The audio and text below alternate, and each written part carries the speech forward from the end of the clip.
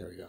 Okay, just go parak, again. Yud. And let's tell Adam Yishifa Razu Shel Chamor. It's a very strange, very difficult uh, question. Hein um, Hashiva says close Yitzhar. Well, this is derived from Yitzhar. Now, the, there is a Yitzhara which is very prevalent among uh, people, which is the Yitzhar of competition. Right, the Yitzhar competition is uh, uh, is linked to ambition, and many people have ambition.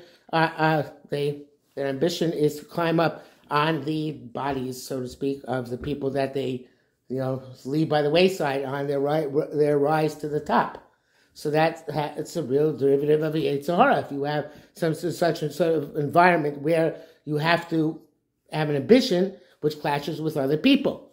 There are also ambitions which we know of, which are just basically uh, uh, uh materialistic, and uh, perhaps they don't hurt other people, perhaps they do, but they uh, are all derived from the Yitzhahara. It's a tremendous drive which a person has. How are you supposed to deal with it? And says so that's an interesting thing. He almost gives up on it. He said, which of course he's not going to do. but he says, even if we fight against it and we and we vanquish it, hello that means we're restraining ourselves in practice. But who can uh, conquer his heart that he should not have a desire? There's a very strange Ibn Ezra on Chumash in Parshas uh, uh, uh, in Parshas uh, Yisro on uh, Sersa Dibros. He says that uh, you know we have one of these one of the Ten Commandments is lo, lo sachmod, right? Not to desire something which belongs to another person. And Shemos says lo sachmod, and, and Dvarim says lo tisave. But uh, Ibn Ezra asks, how can the Torah command you on emotions? The Torah can only command you, says Ibn Ezra. This is Ibn Ezra's premise. A very fascinating premise in of itself. The Torah can't command you on emotions. It can only command you on actions. So how can all of a sudden here the Torah is commanding you on emotion? How can the Torah tell you not to desire your neighbor's Rolls Royce? Right? You want it, right? So uh, the Torah can tell you don't act on it, don't try and, and acquire, don't try and, and take it from him, don't even pressure him to sell it to you. But I can tell you not to desire this Rolls Royce? It's natural. It's human tendency, right? It's a, a perfect emotion. So Ibn Ezra's answer is a very, very um, uh, difficult answer. It's uh, one which I uh, can't really fathom. I mean, I know what he says, but it's very difficult to accept. He says, no, we can answer like this. He says, he gives a mashal. He says you have a princess, a beautiful princess, but she's on an island surrounded by a river of fire. And since she's an island surrounded by a river of fire, it means you can't get her without dying in the process, right? Because you're going to be burnt to death. So he says that per person will have no desire for that princess. And so you have no desire for princess because it means death. And so too, a person should look at other person's property as being like behind this the river fire.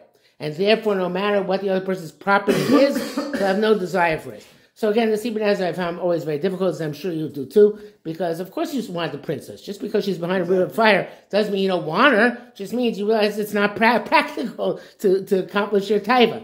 So the so the well, maybe that's the answer. The answer is that you're right. You can't get rid of your your desire, but the way to fight your desire is to put a stumbling block in front of it. Oh, so then, but then Rav Dess's question is a legitimate question because he's saying, uh, he, he, taking that premise, what he's really saying is that it's not possible to eradicate the Yitzhara. Right. All you can do is make two big barriers around it, right. so it doesn't doesn't uh, you're not going to succumb to well, it. Judaism all that Gedarim, it's together, together, together. Right. So that's that. Uh, but the problem is like this. Uh, again, if the Ibn Ezra's problem, look, the Ibn Ezra perhaps for him it did resolve for him, but if the actual Isser for us is low sachmod, you're not even supposed to desire something that belongs to your friend. So Ibn Ezra's answer doesn't do us any good. He, yeah, uh, the Torah is commanding us to change to about our emotion. And here too, the Torah is commanding us about our emotion not to have negative ambitions. Yes. I think what the Ibn Ezra is maybe sort of pointing towards is, is, is, is a general perspective. Meaning, you should look at the situation. Yes, there's a pretty lady over there, but meaning this makes it instantly, oh, okay, it's, it's like the way I'm relating to it is, yeah, that reality exists, but it's not, that's, that's, I don't, I don't, like, I'm changing the way I feel about it based on the way I'm looking at it. Is that true? It could be. In that case, Playboy would never have sold any magazines. no, it's true. It's like, again, that that the reality is is that there is that drive, but if I'm looking at it in a certain way, that even though there is that drive, I have other drives that are competing against it that override that. Right.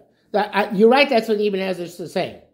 Meaning, though, but okay, But Sort of putting things out I still want that, whole though. reality. Is, the one, is what he's Okay. saying, but the, the the question that we're asking is how is that getting rid of your taiva? that maybe that's what he was saying. It's but no, it's, 'cause it's the commandment into you. is you should can't not have a taiva. That's the commandment. That's what it says. You should not have a taiva. So you ask, oh, how do you fight it? By, by how do you get rid of your taiva? By putting a stumbling block of whatever sword you can. You can come up with any uh, any way you want to do it, but that's not getting rid of your taiva. That's- we're, we're that's trying saying- to like, change I- it from a can't. reality to a fantasy, but the point is you shouldn't have the fantasy. right. You can't. It's it's human nature. That's what we're part of how we're wired. That's how we're asking. yeah. So then it's How does that answer his question? By saying put a you should look at that princess as if there's a fire surrounding her. That doesn't answer the question. I still have a desire for her. I'm not gonna be stupid enough to go kill myself to go get her, but I still have a desire. Desire's still there. So how does that answer the question? and now that I may, I probably would daydream about how to circumvent the fire. Yeah, that would spend a lot of time. With like a doing knife that. shine. Yeah. Or or So the put fire's her not that down. hot. It's not so bad. That's how Nomex was. I I mean, can you, handle it. at the end No, they that's do how it. Nomex Put along wasn't the fire, bad. fire. Fire pursuits. Truck with a ladder. Okay. So um, so the question is, what Rav Des- is whether Rav Dessler writes here what Ibn Ezra really meant? I don't think so, but maybe. Uh, and he does, of course, doesn't reference Ibn Ezra, but he says. Cinderella stories out with that. "Al chachamenu zal kadoshim ki lanu es zeh b'amram." They revealed the, the how one person deals with this. but, uh, when they said must be ora ave, if you satisfy your Sahara, it's hungry. Marivos habe, if you if you starve your Yetzer it's satisfied. Le le- le mort it tells ki arfua beduka vamitis l'chol yashiv shifa ra. The, the, the true and tri- tried and true uh, remedy for uh, the illness of a bad uh, uh, ambition. Taivas koch which is the desire which comes from the uh, quality, the power of taking. Hiraposa seravon biravon atzmo is to cure the hunger with the hunger itself. Okay, let's, let's give, give it a minute. Klalu har evet yitzchavi badel mimeka. Uh, uh, um, um, uh, famish your Yetzer and it's going to se- separate itself from you. Vatok, it says, okay, But Vatokel, with truest before Ravon Zos and Tzaddik. That's easy for a Tzaddik, he says. Uh, He admits, it's not easy to tell people this. But a Tzaddik, it's easy. The Zachro, he remembers, Kilo Hanatila Nasina Manatila. He remembers that he can't unite giving and taking. As long as he doesn't separate himself from the power of taking altogether, lo yelling no saying he won't be a giver lo bakamidas baro, and he won't be like a Kadosh Baruch. So yeah, you have a tzaddik. He says to himself, you know what? I, it's true. I, I, I can have this ambition, but uh, my whole essence, my whole fiber of my being is that I want to uh, serve Hashem. I want to serve Hashem, and I want to be like Hashem. And therefore, that tzaddik, who's on a very high madriga, of course, is able to say, you know, I have no uh, uh, ambition for this negative thing, and I'm not going to introduce this ambition. And I'm not, and if I have one, I realize it goes against my entire raison d'etre, the entire reason why I'm alive. Okay, that's fine for tzaddik. Doesn't work so much for us, the rest of us. So what about the rest of us? V'gam mishloik madriga tzaddik. Even so, he's not in tzaddik. Because seemingly, bo, this is what he has to do. He has to think. Ki b'achaloso es choli anatila chayav einam chaim. When he uh, when, when he's sick with the illness of taking, his life is not life. Chitovo lisbo ra'av mu'at. It's better for him to suffer a little bit of hunger. Me'asher yahares es osher chayav. Than, or, in order, than ruining the, uh, uh, the, the, the, satisfaction of his life. Us takel harafua v'shava. So then it the, the remedy becomes easier and he's going to be able to heal himself. So I, I, I, again, this also to me seems like a very high madrega. But he's saying that a, a, a person is able to intellectually separate their ambition from their values and ethics. And you can say, uh, a person could say to himself, you know what? If I pursue this ambition, it is, uh, uh, it's never going to end. And it's going to be detrimental to what I'm trying to become. and therefore I am not going to go after it. Now, this uh, uh, this uh, I want to use a, a in order to explain this a little bit better. What I think he's saying. Years ago, I wrote an article for the Jewish Observer, which they did not publish in the for- original format, because I based it on Pinocchio, and uh, Pinocchio was not. There was the term Pinocchio was not kosher enough for the Jewish Observer. I don't know where, where they draw the line, but they didn't want to do an article based on Pinocchio. Actually, I think one, one of the reasons they decided not to do it is they asked uh, Meir Stern whether to do it from sake, and Meir Stern said, "Who's Pinocchio?" His wife said, "You don't know who Pinocchio was," but evidently, you know that he didn't know. So the uh, so Pinocchio is the godless of Pinocchio is not the nose. Everybody thinks about the nose; it grows longer when he lies. That's not really the godless of Pinocchio. The godless Pinocchio is Jiminy Cricket. Pinocchio has a Yetzer Yetzer Hatov, which is outside of him. It's not internalized. Actually, the whole Pinocchio, the whole Mahalach, is to be able to internalize the Yetzer Hatov, and that the Pinocchio doesn't want to do that, and he wants because he wants to remain immature. He wants to remain this uh, mischievous little boy, and uh, in this case, that means he's going to remain uh, made out of wood. And most most kids, including myself through high school, are very similar. You know, Chazal say you only get Yetzer Hatov when you're 13 years old. What does that mean? You get Yetzer when you're many good guinea kids are very good, good, uh, even though they're under 13. So the, uh, it means that when you're under 13, all you, anything you do is based on emotion. And Yetzer it doesn't mean it's necessarily bad; it means you're emotional. Yetzer Tov doesn't mean it's good; it means intellectual. So Yisrael Salanter says. Sometimes it means literally, but a lot of times it doesn't. So a kid who's under 13, he might be learning through Shas and Poskim. But it's, it's an emotional thing. He hasn't yet developed the independent, objective thought to think about why this is a good thing to do. He, uh, he feels good. People make him feel good. Feel, he feels that this is something which makes it worthwhile, but it's feeling. It's, it's emotion. At the age of 13, a person begins to start being able to think of things objectively. And therefore, at that time, a person already can understand things and why things are and what things should, why things should be a certain way and not other ways, and so on and so forth. So then a person can start beginning that Yetzer Tov, the intellectual in, in, in the independence and thoughtfulness. Now, again, as I said, through high school, what was my main goal in school? Not to get thrown out, right? Sometimes I succeeded, sometimes not. But the uh, so the idea uh, so that's thrown out of school. Thrown out of classroom is okay. Thrown out of school, you want to get thrown out of school. So that, that is so the way you measure yourself in that situation is the prince, the rebbe, the principal, the teacher. He is your Jiminy Cricket, and you want to leave him outside because if you take it inside, it's going to you know it's going to stare all your fun, right? It's because it's going to have a conscience. Who wants to have a conscience? But I don't want to think of myself as a bad person. So how do I make that work? So I take an external uh, uh, uh, frame of measure, which is the my Jiminy cricket, and as long as I don't fire him and he doesn't fire me, we're okay. I must be okay. I'm still here. So the same as that. Therefore, as long as the Menahel doesn't kick me out, okay. it must be okay. This uh, is a phenomenon which I think um, also uh, not, to get uh, overly political, but a little bit controversial. You know, if you have a, a shul, it's always amazing to me. You have a shul of Balabatim who take take a, a rav with white socks and a shtreimel and a bekishe, who doesn't really have the same background as them. It doesn't really relate to them. Why do they do that? Because they want to have the Yetzer Tov right up there. As long as they have that connection with the Yetzer Tov, represented by their Rebbe or Rebbe, so then they're fine. It doesn't matter. They can offload the conscience on him and say, look, look, look, I got this Rebbe. And he's, he's good, so I must be good too. So then, and no require, no, no, no demands on you. So the tr- trick is, uh, or the difficulty is to flip that around. I know somebody who um, actually worked on his, externalizing his Yetzer Hara and internalizing Yetzer Tov. And what he did is he took his Yetzer Hara and he gave it a name. He called his Yetzer Hara Rembrandt, not not the toothpaste. Calling him Rembrandt because uh, the artist, the painter, yes, because he said the Yetzer Hara paints beautiful pictures.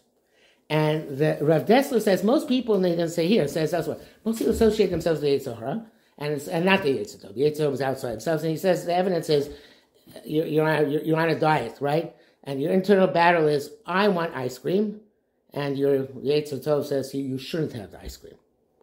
The I wants the ice cream. The Yitzhak is telling you you shouldn't have the ice cream. So that's some the the, uh, the Yitzhak speaks to you and you're the person, you're the entity which wants the ice cream. It's very Freudian, you know, the id, the and the ego, right? So there's the I'm the id, the ego is on the outside. So the, um, but the idea is uh, true, even though Freud used it to a certain extent as well. So, but the uh, so he, here too, what I think we're trying to say here, what that's trying to say is that, uh, of course, it's a hard avoda, but a person can intellectually come to the cognition this is what I'm supposed to do. You know, this is Yizbar Lo make him still showing starts. Yizbar Lo Adam Machal Vasabolamo. You know what your obligation is, why you're here. And then, if you if you start contemplating that, then the Yetzer Hara becomes more external to you. You become more uh, connected to your Yetzer Tov and less connected to Yetzer Hara. Again, if you're going to be a big tzaddik, you're going to be able to get the Yetzer Hara out of you completely. But even if you don't, and most of us won't, myself included. But the, uh, the, nevertheless, we can identify more as our Yetzer Tov and understand this is what we should be. And sometimes that'll help us to be mar'iv ourselves in the sense that we won't follow that negative ambition or that taiva because we know that we're supposed to be good by our own internal standards. Does that make any sense? So the only question I have on that is that does that mean does that mean and not to put anybody down, but like does that mean that it's a bigger uh, accomplishment to have finished Shas after Bar Mitzvah? yes. Mm. So like, the, wow, this guy finished Shas when he was okay. Yeah, he had, he had less bechira. A kid has less bechira.